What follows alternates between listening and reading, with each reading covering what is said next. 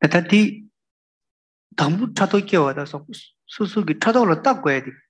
给什么嘞？那查到的大，你叔叔来也不明白的，叔叔来偏多明白，那什么逻辑呢？那他嘞就是一样的逻辑。应该是说呢，当你嫉妒心升起的那个当下呢，你要呢直接看着那个嫉妒心，最后呢认识到那个嫉妒心的状态，知道嫉妒心呢升起是不好的。